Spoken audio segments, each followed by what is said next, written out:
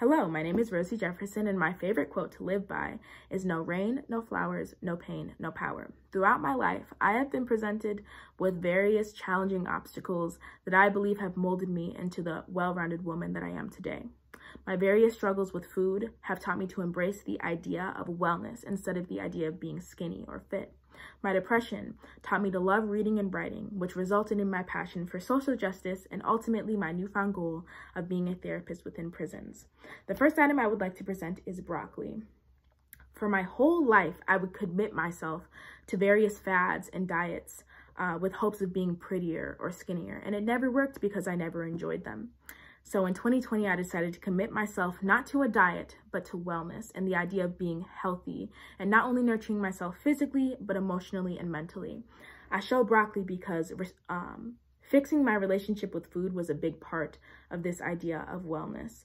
Uh, so now um, I embrace food. I, food is not my enemy. Food has become my friend. Uh, and it has become a big part of who I am and my lifestyle and what I advocate for um, ultimately, restoring my relationship with food elevated my quality of life. The other items I would like to present are my journal and one of my favorite books by James Baldwin.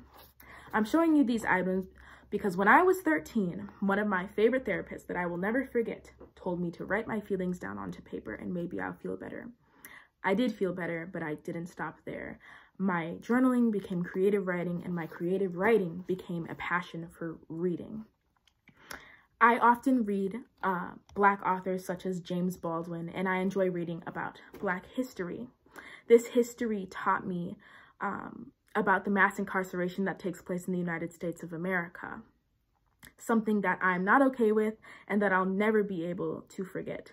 So I decided to commit my life to restoring uh, these practices that take place within the prison systems in America. I would like to do this by becoming a therapist and working hand in hand with prisoners and really giving them the restorative practices that I feel uh, our current prison systems do not give them.